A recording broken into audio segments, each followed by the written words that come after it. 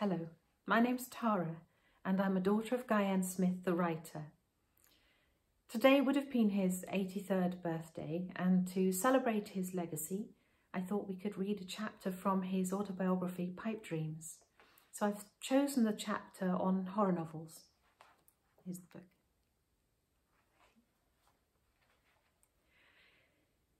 I had been attempting to sell a novel for several years. As with most writers, including some household names, I accumulated dozens of rejection slips, or rather, I binned them. My mother had a saying to the effect that what Guy wants, Guy gets. This wasn't intended as a reprimand for a spoiled child, rather that I never gave up. In most cases, I've found that this terrier-like attitude pays off. Once again, it did. It was in 1973 and we were still living in Tamworth. In between working at the Birmingham Treasury, selling boys' papers and writing numerous articles and short stories, I was going all out to get a novel published. As I found out, it was a question of submitting the right material at the right time. In the days of genre publishing, publishers had their category lists, thrillers, westerns, horror, etc. Occasionally a gap appeared and they were seeking a title to fill it. I badly wanted to write westerns. Every publishing house had a series, often books written for more than one of them by the same authors under pseudonyms. I soon found that there was no vacancy for a new name. The Piccadilly Cowboys, as they were called, were a small group of writers who literally met the UK demand. I knew several of them, Lawrence James, Angus Wells and Terry Harknett or George C. Gilman, to name but three. However, it was the late Lawrence James who was instrumental in getting me published. A former New English Library editor and an excellent writer, he knew the market from A to Z. One day, he informed me that NEL was seeking a werewolf novel for their horror list. Give it a go, he urged me. Send them a synopsis. So on a pouring wet Sunday afternoon, I set to work. I had just moved on to page two with my robust old Imperial 66 typewriter when a deafening explosion shook the house as loud as the report from a 12-bore shotgun. Jean, clutching our 12-month-old baby daughter, five-year-old Rowan at her heels, and myself rushed out through the sliding glass door onto the patio we stood there for a few minutes in the rain, but all remained quiet. I was certain that this explosion was in some way connected with the gas fire, so I switched it off. The following day, an engineer confirmed that this was indeed the source of the trouble.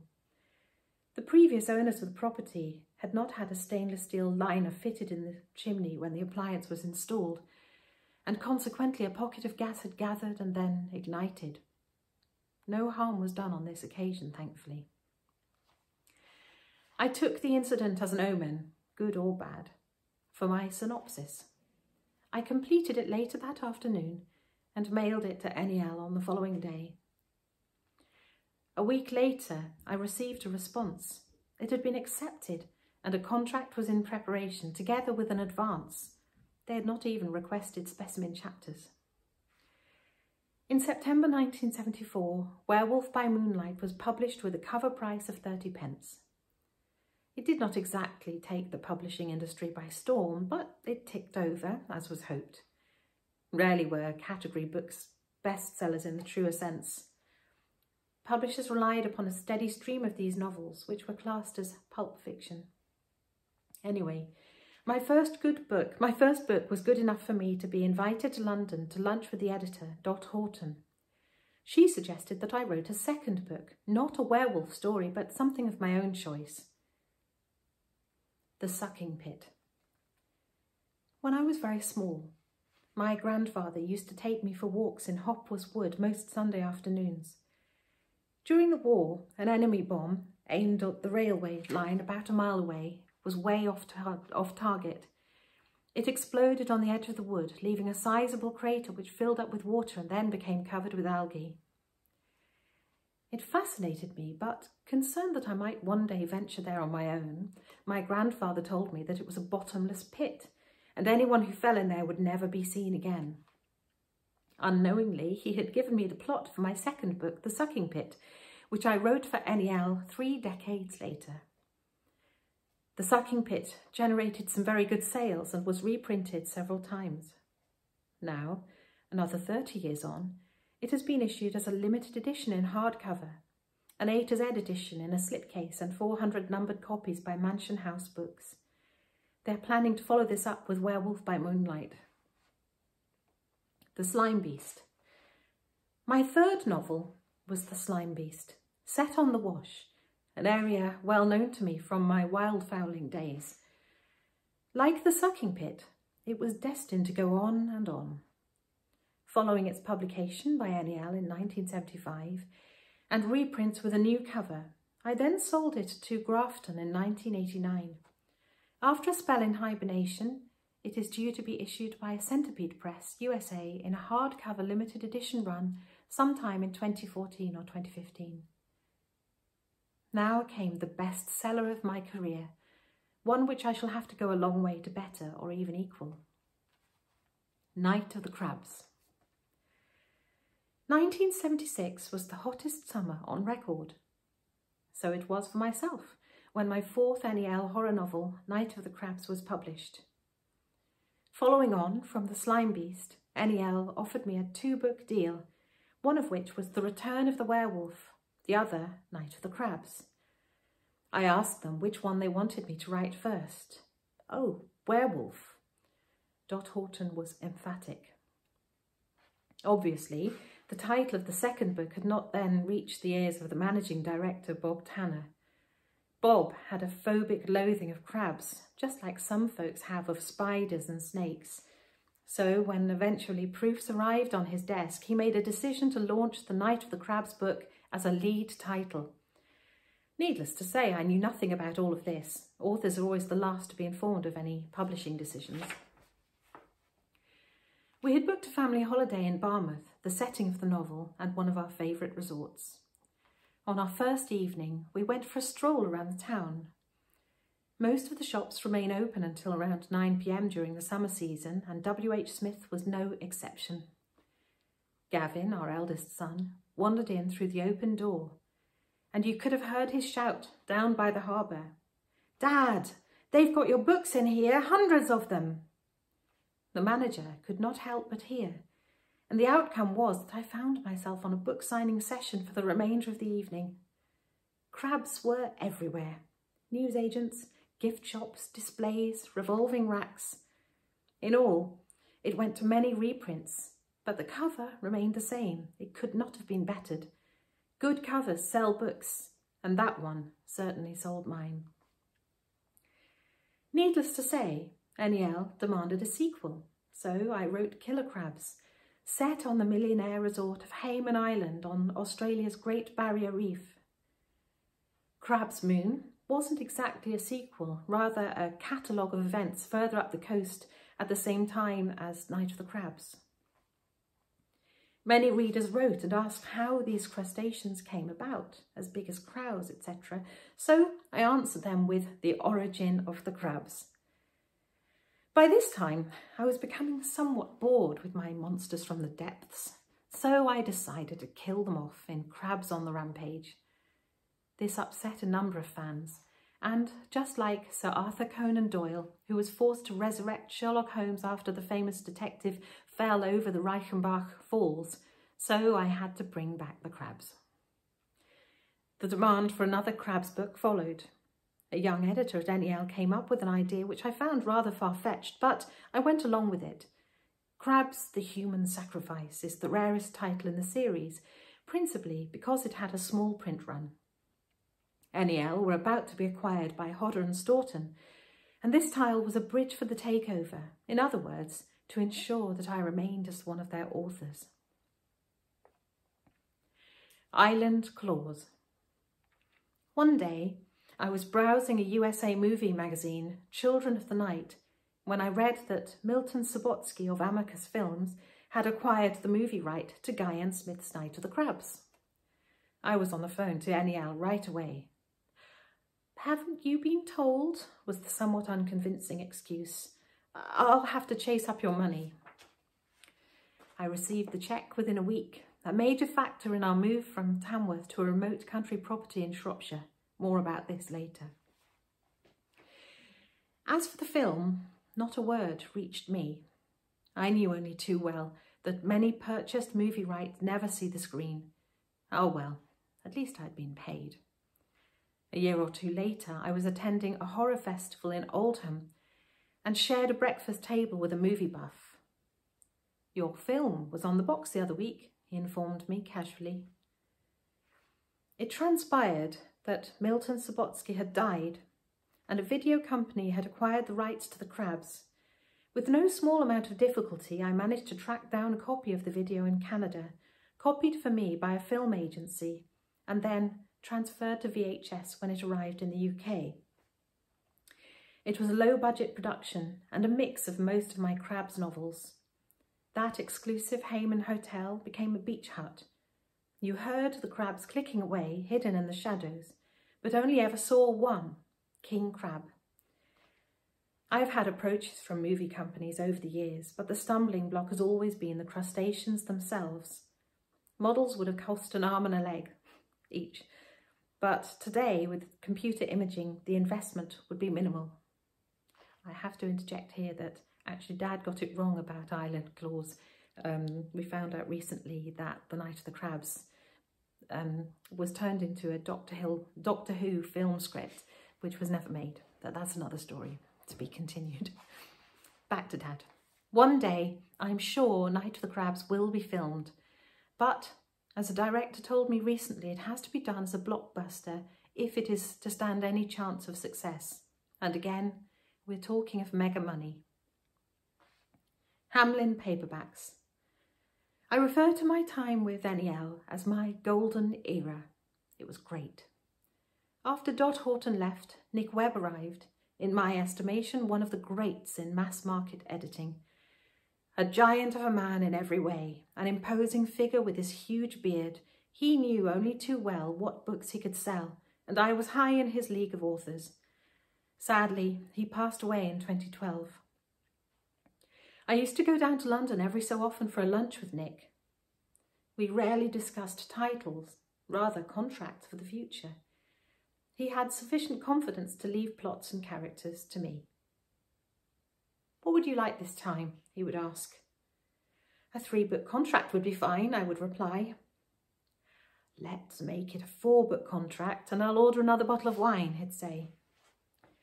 Thus, on several occasions, I travelled back home on the train with a four-book contract agreed, but neither publisher nor author had any idea at that stage about the books themselves.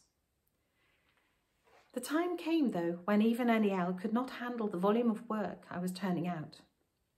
So Nick came up with a suggestion which would be unthinkable by publishers today. Find yourself another mass market publisher and we'll work with them in terms of publication, publication dates. It would, of course, have been disastrous for two GNS titles to appear in the same month. Enter Peter Lavery of New Imprint Hamlyn Paperbacks, an editor in the Nick Webb mould. I arranged a meeting with Peter and he came up with an idea flesh-eating locusts. I thought it rather far-fetched, but he promised me a lead title and a 100,000 print run. He was out to rival the crabs with another revolting species. It worked. Locusts was a sellout, followed by reprints with a new cover. The next book, Peter left to me. Death Bell was a follow-up, success, and so was Entombed. Peter Lavery and Nick Webb were a team to be reckoned with, in opposition but collaborating.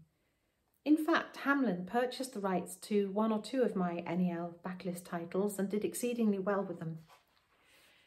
I'm credited with having created my own genre. The trade termed it nasties, but nothing lasts forever. In my third year with Hamlyn, I was invited to their Halloween horror party. I think that they, like a number of other publishing houses, thought that the more horror they produced, the greater their sales would be. Horror will sell and sell. At that party were a number of unknown writers, some unpublished, but with a commission from Hamlyn. I experienced a sense of unease. The market would be saturated. I was right. Sales began to dip. In my case, not seriously, but down from 100,000 to 80,000 per title.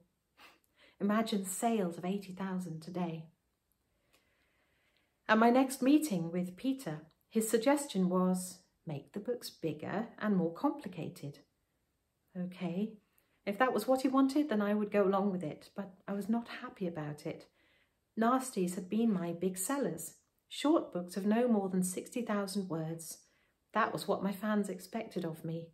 They were fun books and not meant to be taken seriously. From then on, I was working less with Peter and mostly with Nancy Weber, a very experienced editor. We became firm friends. But Hamlyn were going downhill, and Nancy had already secured a job with Grafton. She wanted to take me with her, but she made sure that she commissioned a further two books before she left. So, with a couple of Hamlyns in the bag, a month later, Nancy arranged for me to meet her new, bo- her new boss, Nick Austin. I had met Nick some years previously, another highly respected editor. Nick was eager to set up a deal then and there. Two original titles and four NEL backlists. NEL were now out of the category horror publishing market, and I had secured the reversion of the rights to every book of mine which had appeared under their imprint. Nick purchased Night of the Crabs, naturally, Crab's Moon, The Sucking Pit, and The Slime Beast, in addition to two originals. Unfortunately, Grafton could not achieve the success which NEL and Hamlyn had enjoyed. They admitted to getting their marketing wrong, but I think that it was really the backlash from all those horror books in the early 80s. Once again, it was time for me to move on. Zebra. I had had one or two of my UK titles published in the USA, Bats Out of Hell and Killer Crabs by New American Library, NEL's parent company. Pocketbooks had taken Satan Snowdrop and done well with it. Dell ran the six Crabs books, the first three with beautifully embossed covers, but the last trio had standard ones. Although the series was selling well, there was a change of editor and she did not like the crabs. Zebra, Kensington Publishing, though, were only too keen to take me on. We started with Witch Spell, which had excellent sales and reprint, followed by The Dark One, Dead End and Water Rights. In 1994, Jean and I went to New York, principally to meet the Zebra team and to talk about future books. Over lunch, I expressed a desire to write a Western. You could have heard the proverbial pin drop. They wanted another horror, I wanted a Western. A compromise was made. Write another horror and let us have a synopsis and specimen chapters for a Western. I agreed. They commissioned the Western, Pony Riders, and in 1996 published it under their Pinnacle imprint, after that, everything went downhill. I was selling tolerably well in the States, but Zebra made the decision to close their horror list and concentrate on publishing romantic fiction and self-help books. Back to square one. I had been there before, so it was time to try something new yet again. I wrote a few hardbacks for Piatkus and Severn House, some of them sold out their print runs, but the publishers chose not to reprint. I tried my hand at self-publishing with The Busker and An Unholy Way to Die, the latter under my Gavin Newman pseudonym, along with Corn Harrow, A Tale of Two Donkeys, following on my fairly successful Random House children's books. I wrote these under another pseudonym, Jonathan Guy. Kids' books and horror don't mix. It was clear to me by this time that there was no place for genre books in the 1990s bookselling market. Publishers wanted fewer titles, principally biographies of big-name personalities and blockbusters which they could hype. Supermarkets and chain stores were not only getting in on the act, but becoming a controlling force. Buy one, get one half price. It wasn't doing anybody any favours principally authors like myself, who would still sell, given the chance. My chance was to come yet again, And for the next few years, I was to enjoy a heavy workload with the Countryman's Weekly, and I was more than happy. So thanks to Dad, to Guy N. Smith, for the decades of fun and entertainment. Hopefully, um, we'll be reprinting or republishing his, his works under Black Hill Books Limited, um, run by, by the family itself. So let's all raise a glass or whatever you've got, cup of tea, to my dad, to Guy Smith, for his 83rd birthday. Happy heavenly birthday, Dad. And bye and thanks from me.